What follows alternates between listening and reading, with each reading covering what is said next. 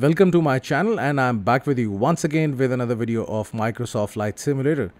Few days back I purchased the Fenix Airbus A320 and since then I'm just really enjoying flying this plane and it has got some features which were not there in the fly-by-wire Airbus A320 Neo or the default Airbus which comes with the Microsoft Flight Simulator and specifically speaking it is the top of descent.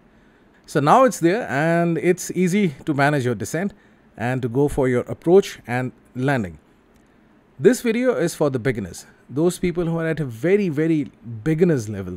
So if you're at a certain level of expertise, I think this is not the right video for you. But still, if you're watching, you're more than most welcome because I think you already know how to connect uh, the SimBrief account with your Fenix Airbus A320. But if you really don't know, then this is the right place. Once you install uh, the Fenix um, uh, software, and you execute um, the file and you log into the system, you will see the screen which says uh, welcome to you and then over here you will see your SimBrief ID.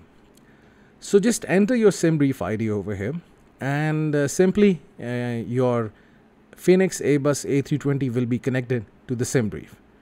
This is one way of doing it. The another way of doing it is through the Microsoft Flight Simulator. Let me show you. So here I am in the plane and you can see the electronic flight bag, the EFB for the Airbus A320 by Fenix. And if you go on the top and uh, you move your cursor over here, you will see this drop down menu and from here select the settings. So once you select the settings, you can also see your SimBrief username and you can enter it over here. So either you can enter it over there in the executable file and which comes uh, with uh, the Fenix Airbus A320 or you can do it from here. Moreover, the best thing is this that you can also connect your Navigraph uh, with this plane. It is some additional information that I'm giving, although it's there. Once you go over here in the EFB, you will see this option. So you can also connect the Navigraph with, with the tab. And once it's connected, you can simply go over here and uh, and uh, let me see if I've made a flight plan.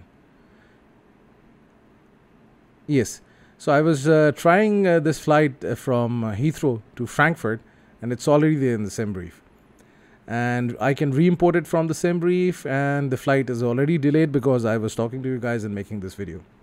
So this is how you connect your uh, EFB with the SimBrief and then you can make any flight plan and then you can simply import your flight plan into the EFB.